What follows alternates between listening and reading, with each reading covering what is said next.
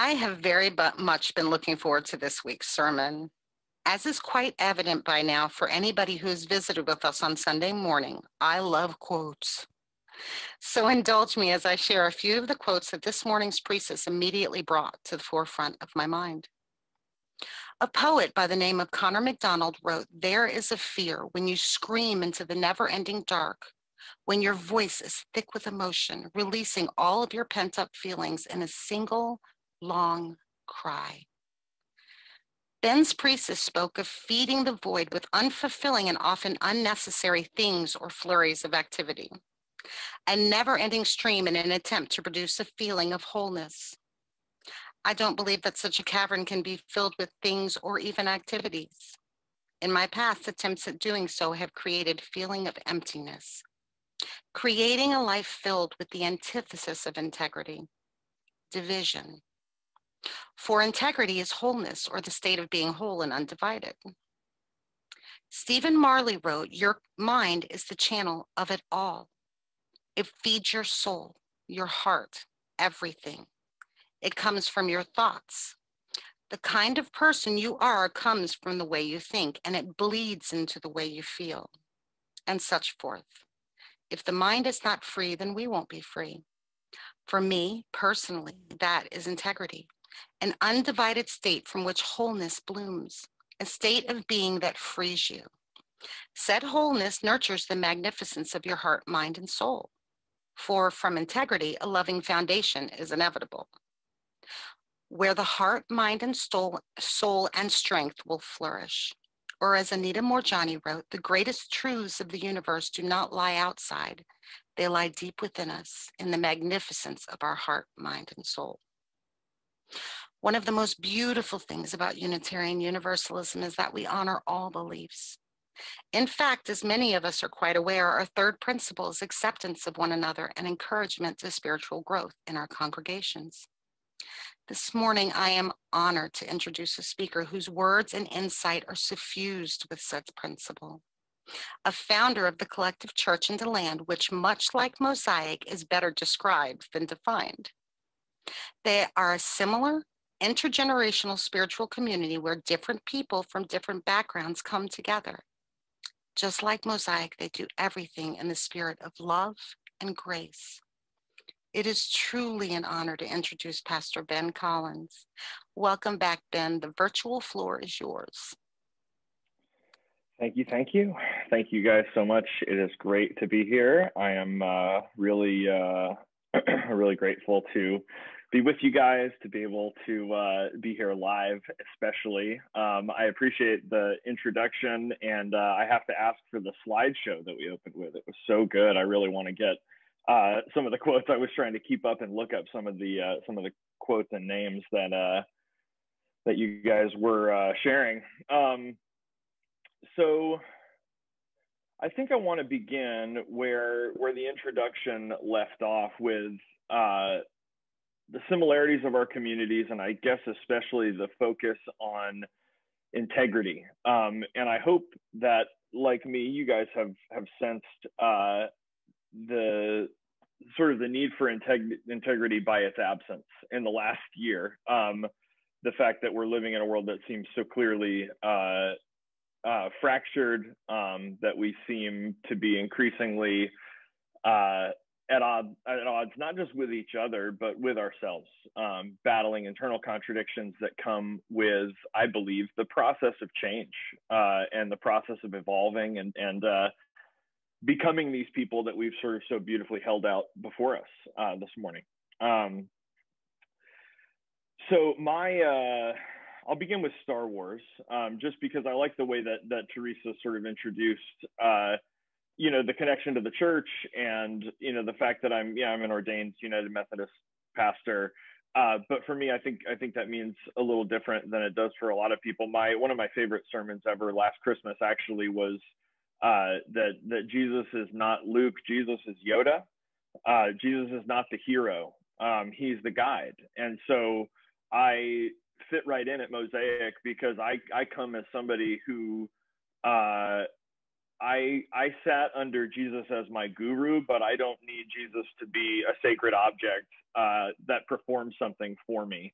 in order for the Christian faith and tradition to be valuable. And so, uh, what I'm really looking for in in Jesus, I find in in sort of this question that's been on my mind and heart more in the last year as I try to simplify my life and clarify what it is that I'm doing uh, with a short time that I have, uh, you know, in this life. And when Jesus is asked to summarize his sort of understanding of spiritual practice, he, uh, first of all, he quotes something that already exists, which I think is such a great and humble move. You know, he sort of has the floor to create his new religion. And uh, somebody asks him what's most important, and instead he quotes something that already exists. Uh, he says, listen. And I love that his response opens with a call to action. I think that's bold. Uh, and that the call to action is not to immediately be busy, but to be aware. So he says, listen, so that you might learn to love God with integrity of heart, integrity of mind, integrity of soul, and integrity of strength. Uh, that's my paraphrase. And he adds, once you've figured out loving yourself to integrity, then love your neighbor as well. Uh, and not just also, but love your neighbor as well as you love yourself, meaning with integrity. Uh, and this is, if you're not familiar with Jesus or Christianity or the tradition, this is sort of classic uh, Jesus pushing past self and ego to help us see uh, both the presence and the value of others, um, the presence of the unknown, uh, the neighbor, the stranger, the other, the community, uh, and this is the process Jesus is always inviting people into to move past self or ego uh, from from I to we, um, from me to us, to, to the acknowledgement that there's more going on than just me. Uh, and maybe you're like, okay, you know, fine, take it or leave it, Jesus as a as a teacher. Um, but what about politics? What about racism? What about COVID? What about the economy? What about education, small businesses, the arts, entrepreneurs? What about uh, the university on our doorstep and all these students with open minds and passionate, convictions. Do these deserve some of our attention, some of our sacred ambition and our vital energy? Yeah, absolutely. Is this also beyond overwhelming? Yes, for me it is. And, and like Teresa shared, we, we can absolutely burn ourselves crispy trying to fix and engage and advocate and organize and convince and, and make space and create dialogue and take advantage of teachable moments and foster self growth and build community and on and on and on and on. These are all good things. And they all take very real energy. And if we neglect the simple foundation of heart, mind, soul, and strength, we will find ourselves in that flurry of activity that screaming into the noise, but we won't have peace. And so we won't be able to make our highest contribution to ourselves, our families, our communities. And so when Jesus is asked, he connects this holistic, integrated love with the love of neighbor. And again, this, this love beyond self, this love beyond ego. And the, the original quote goes like this Hear, O Israel. This is from Deuteronomy 6. Hear, O Israel, the Lord is our God, the Lord alone. You shall love the Lord your God with all your heart and with all your mind and with all your soul and with all your strength or might. Keep these words that I'm commanding you today in your heart. Recite them to your children and talk about them when you're at home and when you're away, when you lie down and when you rise. Bind them as a sign on your hand, fix them as an emblem on your forehead, and write them on the doorposts of your house and on your gates.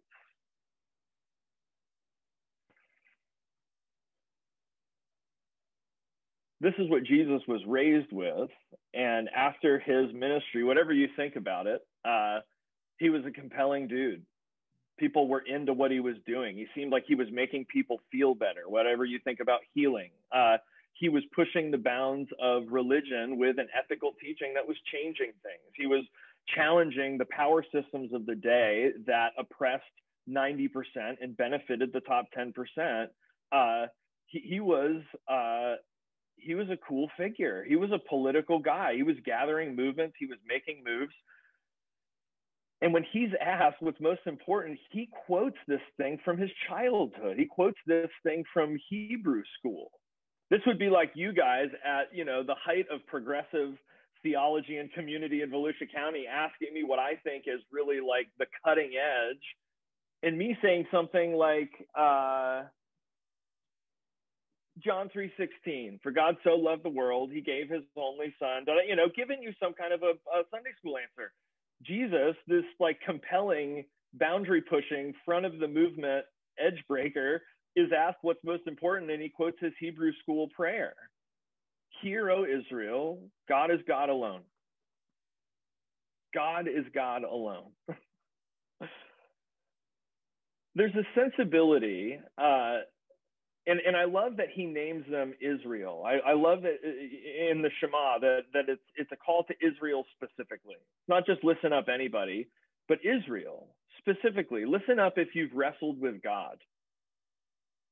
That's the name Israel someone who wrestles with God. So if you've ever wrestled with God, listen up, not for beliefs, not for answers, not for theology, but for an event, not unlike the beating of your own heart. It's mysterious, it's vital. You require it and you're not in control of it.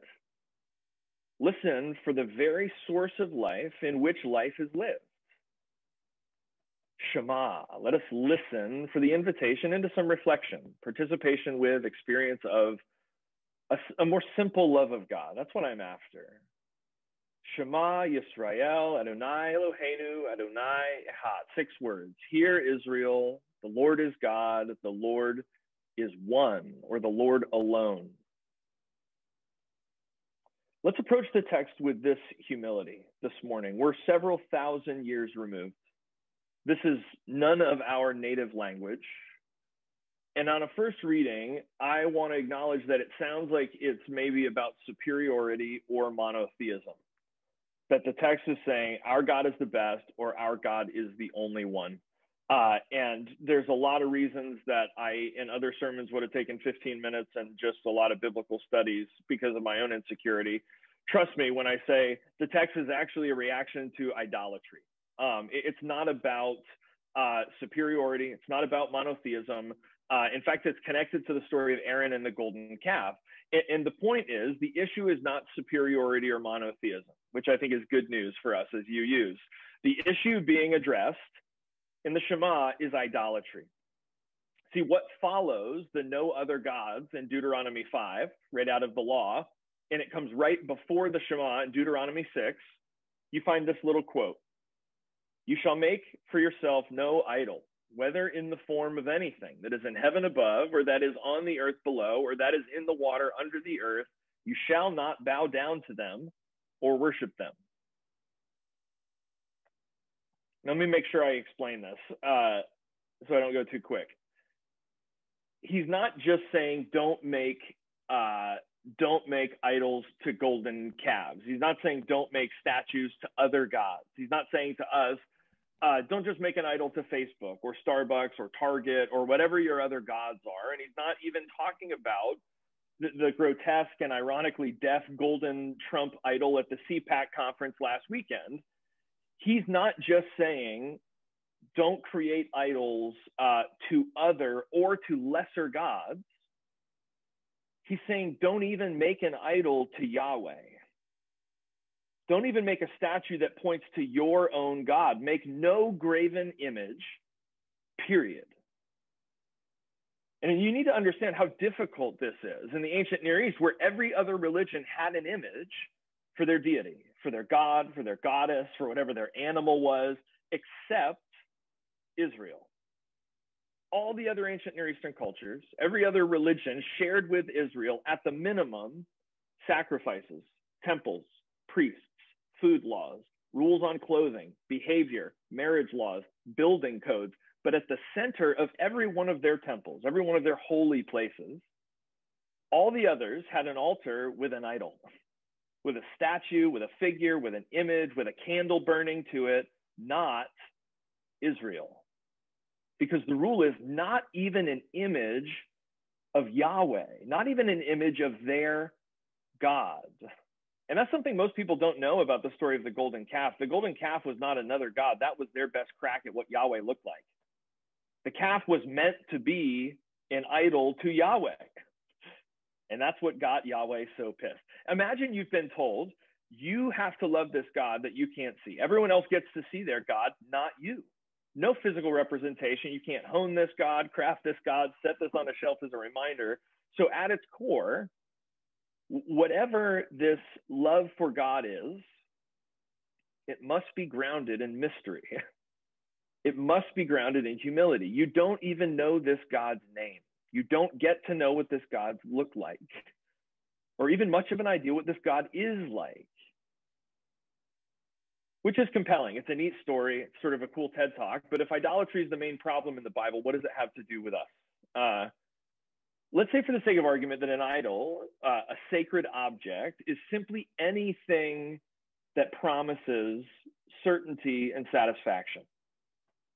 Maybe that's through meaning, maybe that's through identity, maybe that's through purpose, maybe that's through truth, maybe that's through provision. Uh, but promising certainty or satisfaction that is not rooted in one source, that's an idol. And if that's the case, then maybe idolatry is something we're still wrestling with in the modern world. And all we have to do is look at our lives day to day, week to week, and ask are there things that are promising us meaning, that are promising us identity, that are promising us truth, that are promising us certainty and satisfaction. Uh, God winds up with some really interesting names, right? God winds up in the same vending machine as my Volkswagen and the PhD that I want to get one day. God winds up in the same vending machine as this compelling figure Q and other political leaders. God winds up in the same vending machine as the extremely elite liberal left, uh, who, who, as right as they may be, uh, can't be kind to help themselves. uh, it's just another product to fix uncertainty and satisfaction. It's just another pill to give us what we really want, which means, by the way, and I think maybe this is what Jesus is getting at by pushing against idolatry. If it's just a pill to get what we really want, then what we really want is not God. It's that thing. Instead of loving God, God becomes currency that buys us the thing we really want, which makes it, by the way, an idol. And you may be wondering, well, what do you, you know, what do you mean? We really want an idol so what the what the text says, what the language says, and obviously this is Hebrew, it's a poor language, so it's not precise language. It says God is one, God alone. Uh, they're saying in two very Jewish ways. They're saying God is not an idol, and God should not be idolized. Um, and and let me just put in very clear language what this means. Uh, our belief systems about God are not God. God alone is God. Our theology and our language about God are not God because God alone is God. Even our very best understanding of our sacred text or whatever our sacred source is, it is not God. God alone is God. Our religions, our denominations, our creeds, as great as they are, as far as we're evolving them, they are not God. Even our experiences of God, very real, transcendent experiences, they're not the fullness of God. Because as the Shema says, God alone is God. What we think of, the image in our mind, the feeling, our deep desire to grasp this reality, whatever it is that's loaded up in the word God, when we think it, say it, imagine it, pray it, that is not God. But God alone is God. The name of God is the name of a call that is by its nature resistant to being nailed down in an image or a concept. In his work, Toward a Radical Theology, uh, a philosopher from Syracuse University called Jack Caputo says this. He says, The name of God is the name of a call to which we are supposed to be the response. Without the response, the name is a dead letter. The real death of God is to ignore the call, to let the specter expire, to let it draw its really last breath. for all the world, the only thing anyone can see and the only thing that exists is the response. The only witness to the call is the response. The rest is spectral, invisible, ghostly. Specters expect the truth. They expect us to make the truth come true. He goes on, truth here doesn't mean what it means back in the departments of modern philosophy. Propositions inside our head, picking out objects in the world outside our heads. Instead, truth means facere veritatem, making the truth, doing the truth, making our lives into a work of truth. When the mystic, Meister Eckhart, says God needs us, he gets the whole idea. Without us, the name of God is a tinkling cymbal. It's just talk. When Paul says we fill up what's lacking in the body of Christ, he gets the whole thing. The earthly body of Jesus has taken its leave from the world, and now it is up to us to heal the sick that he left behind and to proclaim this year of good news. When the author of the fourth gospel says the word must become flesh, he gets it. The disembodied spectrality of the call must be brought into word and flesh and blood. The call must become a response. The word must become flesh. We listen and we practice forming our hearts and our minds and our souls and our strength, not so that we can be right, but so that we can become the response to the call, so that we can make this beloved community, so that we might become the embodiment of the call rather than a community that celebrates the very best idols. And listen, I'll say it. If it was an idol contest, I'd be at Mosaic. I think you guys have the best language. I think your theology is it. I think you're the closest thing to what's going on. And I think the very best of what's going on is the community you're building and the, the direction that it's pointed, which is back into serving the community. I think it's gorgeous. The Shema is an invitation to step toward and to step into the orbit of this God that's mystery an invitation that's rooted at its core in humility, not in the certainty of sight, but in a faith that listens. At its deepest level, I think idolatry, at least for me, uh, has to do with our response to mystery, to unknowing, for me, to insecurity. Uh, and I think at its simplest level, the Shema says you can't love God by making God an answer to your problems. God is not the magic pill on Google Ads that will make you skinny or happy or feel loved or find the right person or get the dream job or avoid suffering or even to know for sure that there is a God. That's not something God gives us. God is not a genie and God doesn't work for you. Uh, God's story is, is not a story of certainty and satisfaction, but rather a call to wholeness and to oneness. And I think it's this call that is God, and this call that is God alone. Uh, and when we try too hard uh, to put our forms and our desires uh, and our specifics on that call, um, we often, maybe accidentally, with good intentions, end up pushing it on people. Uh, and I think the harder and the wiser thing to do is to continue to listen, uh, to listen inside, to listen inside. I want to I want to close with this reading from uh, one of my favorite spiritual teachers, a guy called Frederick Buechner. Um, and uh, if you want to close your eyes, you can. This would sort of be like a closing meditation if you'd like. Um, and I'll just, I'll end with an amen when I feel like we're ready. Uh, let's practice together.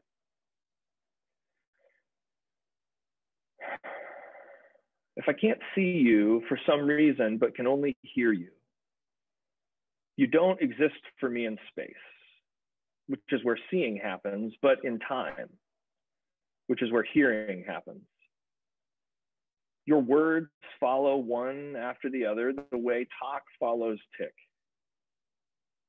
When I have only the sound of you to go by, I don't experience you as an object the way I would if you stood before me. Something that I can walk around, inspect from all angles, more or less define. I experience you more the way I experience the beating of my own heart or the flow of my own thoughts.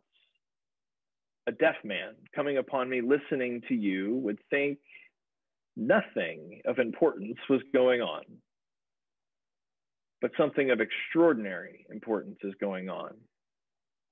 I am taking you more fully into myself than I can any other way. Hearing you speak brings me, by the most direct of all routes, something of the innermost secret of who you are.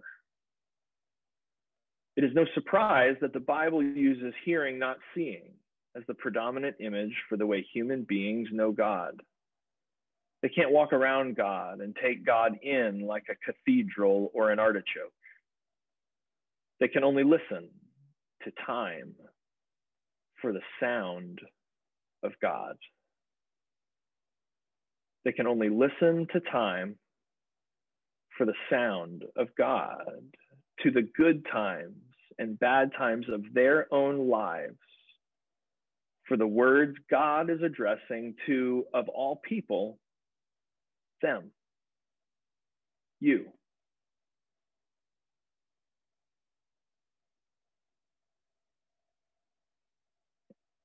Listen, anyone who's wrestled with God. The name of God is the name of this call and this call alone. Amen.